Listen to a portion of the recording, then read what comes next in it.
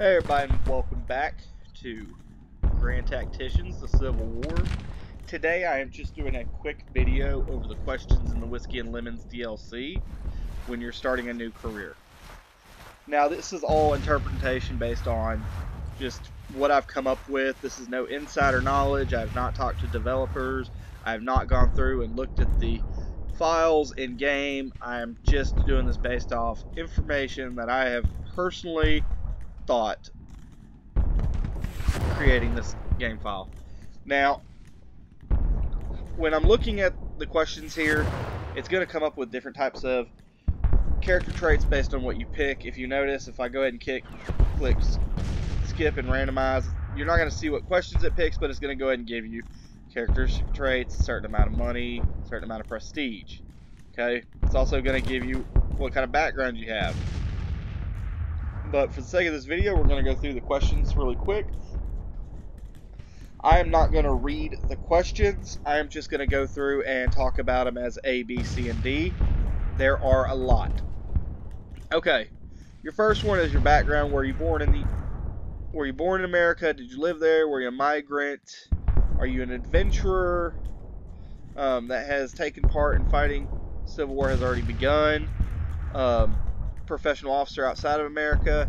So were you already an officer? So this is, in my opinion, is going to um, determine your ranking. So most of the time you start as a colonel. I haven't checked this out myself, but I'm assuming that you're going to get a little more prestige if you are a professional officer from outside of America. Um, if you if you're an adventurer, you may have a little more fame. You may have a little more initiative. If you were born in America and live there, um, I'm thinking that one has to do with your administration because you know the area, you know what how it, how it is. Um, cunning, also I believe could go with D. So we're just going to click through, not really trying to play a playthrough. I'll show you what it gives me at the end. It's then going to ask you if you have fought in the Mexican-American War. If you were to put yes on either one of these, you will then have a background knowledge of veteran, which is going to help you with um, other officers liking you or not. Um, if you put no, I was advancing my political career, you are going to get the more than likely the politician trait, which some people like that. A lot of people don't look at those things. And then if you click the lucrative, that's going to give you more money. So we're just going to click A on all of these just to go through and you can see what kind of build it does. Okay, did I did you study at West Point to become a professional officer? So you can say yes as soon as you were old enough. Um, you didn't really care for the soldiering, so you wanted to gain prestige. So that's going to give you a better prestige gain. That's going to be one of the more lucrative prestige gains that you can get from answering these questions. Um, the C, you will not you will not get the West Point um, graduate because if you notice, it's saying you did not finish. Okay, so you are you are going to get probably a little extra money, not a lot, just a little bit. Um, and then again, D, you're going to end up with more money. Okay. These are all going to go with your fame, initiative, leadership, administration, cunning. You're a top student, you're going to get a little more in your administration, a little more in your initiative, and a little more in your cunning. Okay. I like to, B is going to give you more initiative, more cunning. Um, these are also going to determine if you're going to be an engineer, inf infantry, cavalry, uh, artillery, what kind of role it. If I'm, I don't know the background of it, but I believe it's an accumulation of your your answer choices, depending on how many. I think it's a point system basically that's kind of hidden in the software. Um, I'll do more digging and do an updated video at a later time.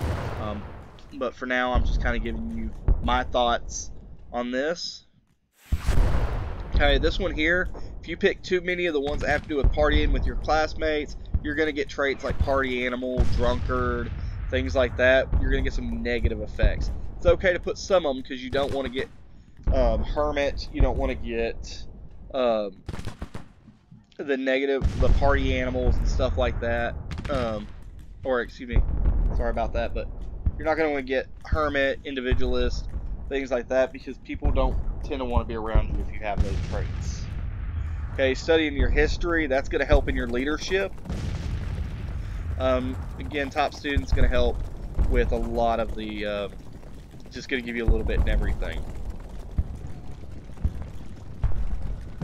Alright, your, for, which one did you find most interesting during your West Point studies? Geography, drawing maps, and planning. Obviously, that's going to be initiative and cunning.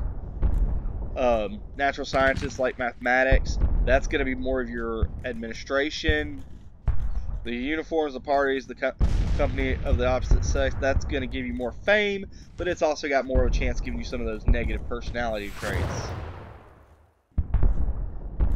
This one here, I like long marches and making do with very little. That is going to do with your leadership. It's going to bump it up because you are one of the grunts. You are one of the guys that do it. it also has a chance of giving you that infantry um, background so that is something to look forward to. I know if you're wanting to play as an infantry brigade commander or higher, that's a good one because those those things give you extra boosts. All right. What describes your life after graduating from West Point? You stayed in the Army and served, fighting the Indian Wars. That's going to give you veteran. So that's a good one to have. But also, this administrative officer is a really good one. I've noticed every time I've clicked that one in the past, my administration has gone way up. Um, same same way with um, graduating. My superiors notice my diligence. The C here, um, that's going to help your administration. That's also going to help, more than likely, give you the engineer background, um, which is not not too bad to have because that's going to give you more building points when you are in a um, battle. So you're able to build more of your, your ramparts, things like that so that's not too bad to go with. Um, and this one here, D, that's going to give you more money. Just plain simple. You're leaving West Point, you're wanting to go get more money. You're starting a business. Alright, what was your desire? A lot of these ones that are talking about you, your personal background, um, on your personality type, these are going to be deciding, are you conservative, are you liberal, are you fire eater, what kind of political gain you have, what kind of fame you're going to have, what kind of prestige you're going to have. So it's important to pick ones that go with what you are hoping for. Um, so if you're wanting to protect the Constitution, the values and rights I believe in, that's going to give you more of that conservative route. Um, if you're wanting to fight to defend your home, family, and loved ones, that's going to give you more of that um, more of that political route as well. Um, A can also give you the liberal route. Uh, the experience new adventures, that's going to give you a little bit of prestige. Um, it's not going to give you a lot, though. Um, the decorated war hero, that is going to give you a little more um, fame. Alright. These questions here that are talking about how you would carry out orders, this is all going to be with personality traits. Which ones are, are doing it. So if you say that you're going to keep your feelings to yourself and carry out your orders, you are more than likely going to get, oh, I'm trying to think of the name of it. It looks like a yellow heart, but that is not a great one to have. It means you're pretty much a butt kisser. Let's just be honest. You're kissing everybody above you's butt. Um, if you choose B like I normally do, you are going to get um, more than likely reliable, which I really like that trait because it seems like the officers above you really like a reliable. It doesn't mean that you're to, you know, just do whatever they tell you, but you're to be more reliable. Um, if you do these, the ones that are at the bottom here, those are to give you traits like um, kind of stubborn and uh, Let's see. It's to give stubborn. It's to give you traits like prudent. It's to give you traits that could possibly have a negative effect on you. So be mindful on how you're picking those. If you're wanting to go for a horrible character, I noticed a lot of C and D are that route. How do you describe yourself religion?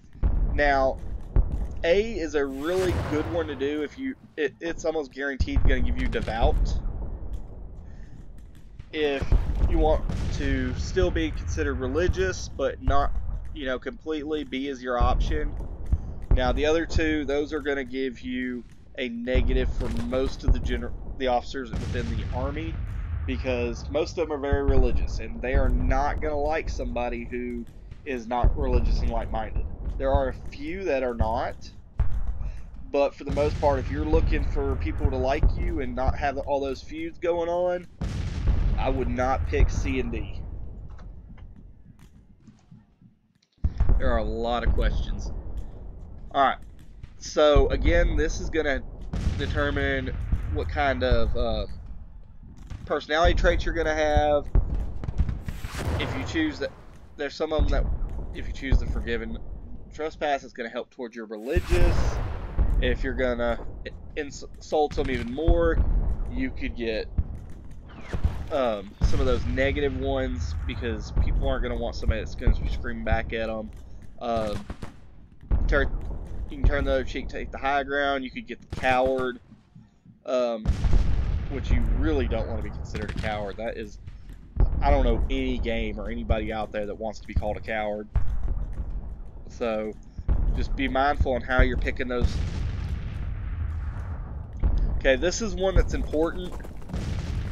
So, it almost guaranteed if you pick the first one, it is going to give you party animal.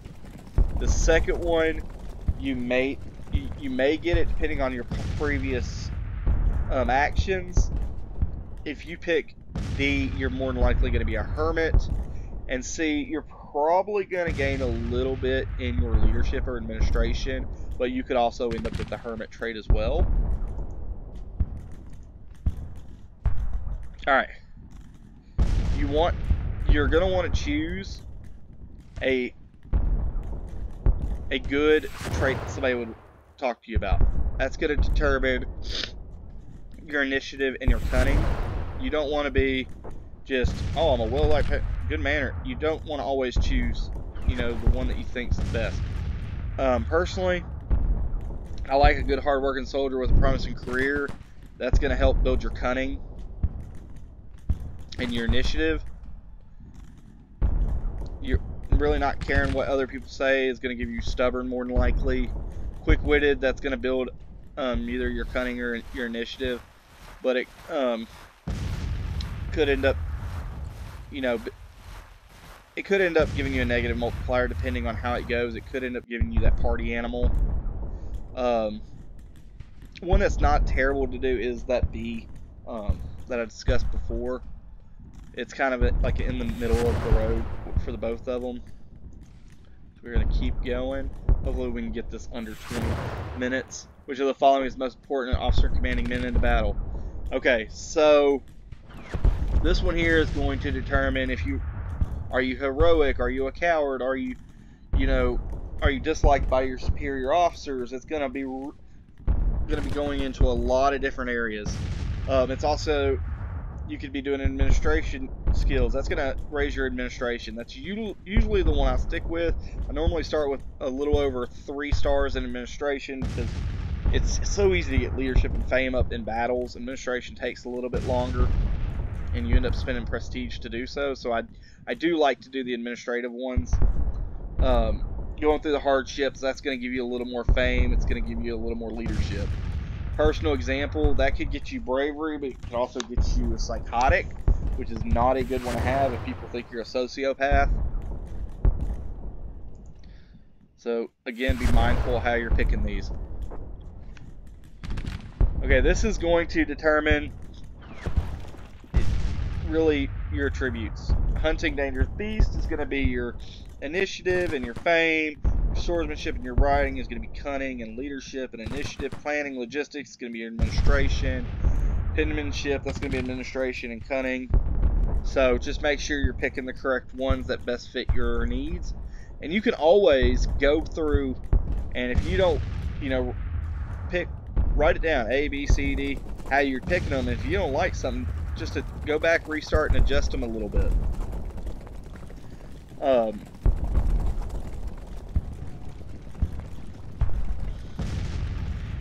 let's see, the next one is if confronted with disagreements among your peers, which of the following reactions describe you best? Okay, this is going to be another one of those personality ones that could really help you or hurt you as far as the other officers liking you. Okay, I definitely don't suggest, um, you know, losing your temper because that's going to get you hot-headed. Um, I normally go to remain calm, and defend my points to B, but for this video we are going to choose A. The lower you go down, they are going to have some more negative effects on this question. Alright. So this is going to have to do with do you like being around people or not? So you want to impress people with epic stories. It's going to help your fame, solving mathematical equations. That's going to be more of your administration. Order in silence is going to be your leadership or watching the fire. That's going to that's going to kind of I've never seen anything good come for that one. I really don't know what that one does, but I do know that every time I've clicked it, I've gotten Hermit. Alright. This really, this is going to be one of your political ones. Um, so A, it's about breaking shackles, you're going to come across as more liberal. Um, which if you're playing the Confederacy playthrough, obviously you don't want to be a liberal in the Confederacy back then. You want to be a conservative, and vice versa. If you're in the, you're playing as the Union, you don't want to be conservative. You want to be more uh, liberal. These top, top two are going to be more so for your liberal side. The bottom two are going to be more for your conservative side. All right, again, this is going to determine your politics. Are you liberal or conservative? And just how much you pick them is going to determine if um,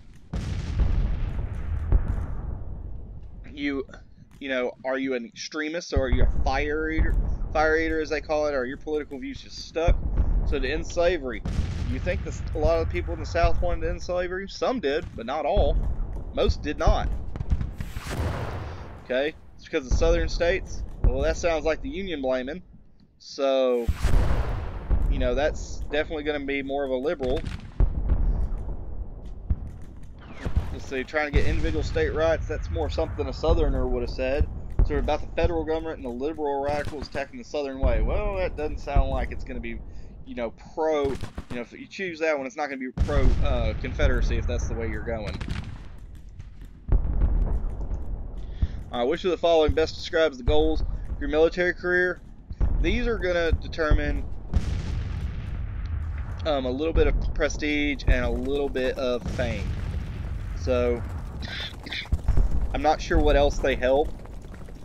So we are just, if you know, please leave a comment in the comment section. Let me know if there's anything that I didn't hit on, that I'm making mistakes on. Please let me know. In comparing military careers with others, possible options, which of the following best describes the benefits? Okay, so if you pick social events, parties, and admiring the attention that, well, it's gonna be great, but you're more, you're gonna get that party animal. Okay, stable job. That one's not too bad. See the world.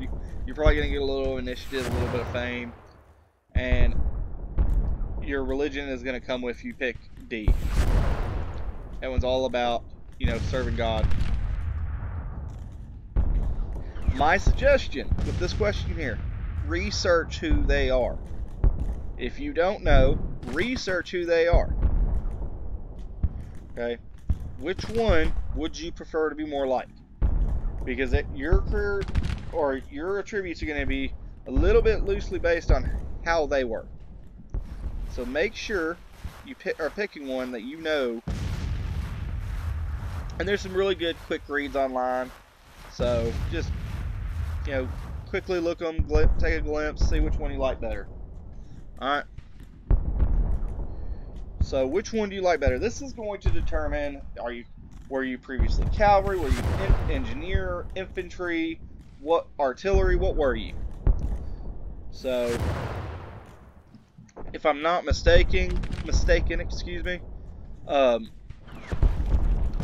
this A is going to give you more of a um, engineer. The B is going to give you more of a cavalry. Obviously, C, it tells you right there, discipline lines of infantry is going to give you more of a chance for infantry. And I, I definitely think that D is more of the artillery, but again, I'm not for sure, and none of them really sound like they would be artillery. So, this is going to determine your skills on um, initiative. It's also going to determine if you are a, a coward or not. Okay? Are you going to quick? Are you going to quickly move into position? Are you going to fix bayonets and lead? Uh, just charge in. So that could be good. You could be brave. You could be heroic. You could also be seen as um, daring. It could also have a negative effect by making it seem like you don't care about your men. You don't care if they live or die. Okay? So make sure you're picking these. Um, you know, this one's going to help your leadership. Fall back is going to go with your cunning. Initiative and leadership would be ordering screen of skirmishers. And remember, I'm just picking A on all these, so when you see the final character, y'all might be like, woo, he chose bad, but I'm not going through and actually creating a character. Okay, so this is going to determine um, morale hits, how well you are liked, because obviously you can try them and shoot them, but your men may not care for you too much. You can prosecute them for desertion, um, have them arrested. You know, this is going to be your initiative, your leadership um, stat right here. What is the most important role of cavalry? So what do you think it is? A lot of times they they did protect the supply trains prevent desertion in battle lines. They also did a lot of scouting ahead. They also charged and wavering enemy lines and keeping lines of communication open. Really, which one do you think? Lines of communication, that's going to help your readiness. Charging, breaking, wavering enemy lines with cold steel, so that's their charge. Um, that's going to be daring, that's going to be initiative. Scouting ahead, that's going to be cunning, that's going to help your intelligence. Um, protecting your supply lines, that's going to help your administration. So, whichever one you are looking at doing better job of. Alright. This one is also going to affect your initiative, cunning, leadership. So, and how well somebody likes you. Do you follow orders? Because you could stand and fight to the last man. Okay, you can order your deputy to lead the battle. They could see they could see you as having a rear in the saddle, um, which in the game is not not good. I know that there is a mode to play where your headquarters in the saddle, but it's it's a little different. Okay, you can avoid casualties. That's going to help your cunning. You can take the opportunity to prove your military prowess. That's going to help. You know, that's going to help your initiative, but it could also hurt uh, morale of your men. Okay, ordered to hold the line. So these are going to do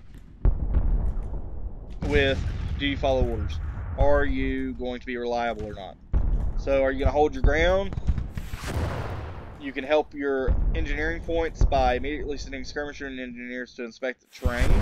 Take initiative. Obviously, that word initiative, it's going to help your initiative.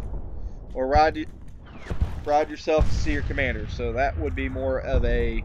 Um, that's not going to, my opinion, not going to help you all that much. Alright. Again, this is going to be morale. This is going to be about morale and leadership. Okay, are you going to force your troops to march even when they're tired?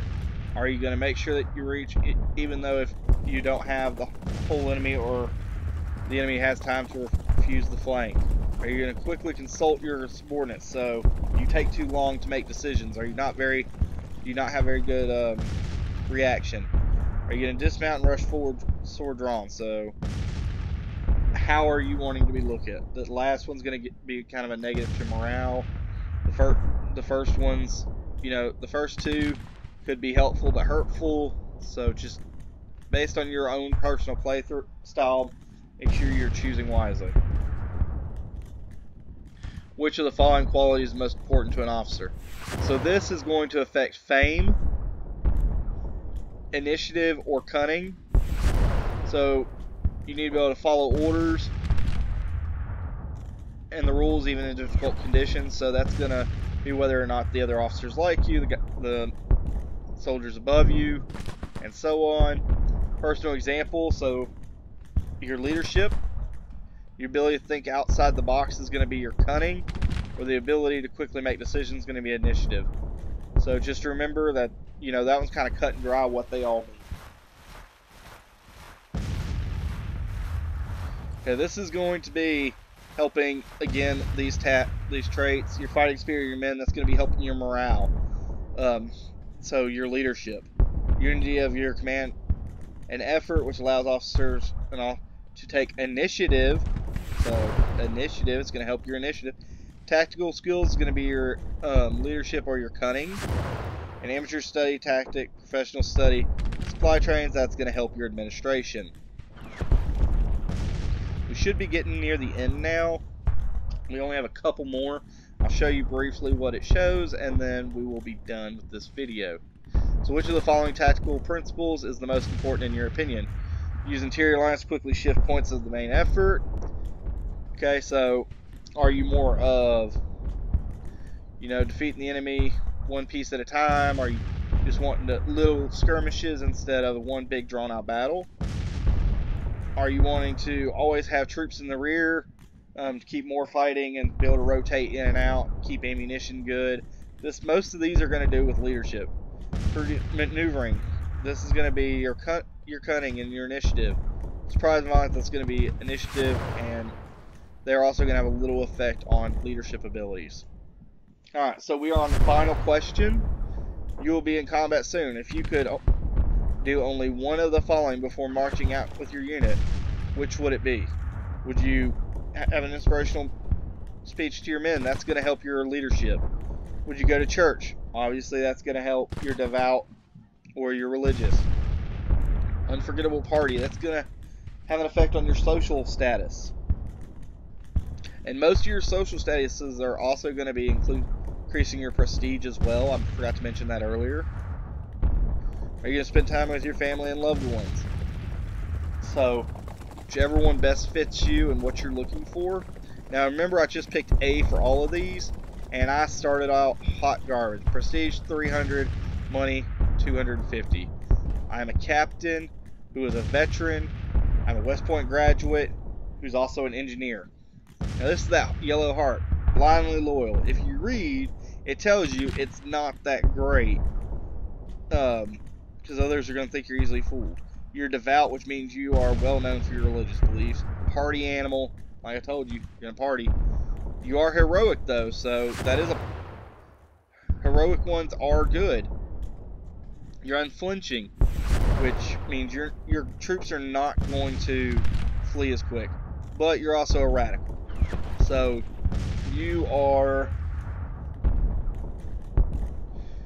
very conservative. You are you know, you're exactly what the South is looking for. If you notice, my fame didn't go up much, but I have decent leadership. I'm cautious, or excuse me, initiative. My leadership is not great. You can build that up fairly quick in your playthrough. Administration, that is really good administration for getting a game, but you have no cunning. Alright, so that concludes this video for tonight. Uh, thank you for watching. If, Like I said, if you have any comments, concerns, if I made a mistake somewhere, please feel free to comment below. Please like and share and uh, subscribe to my video. Thank you, and y'all have a great night.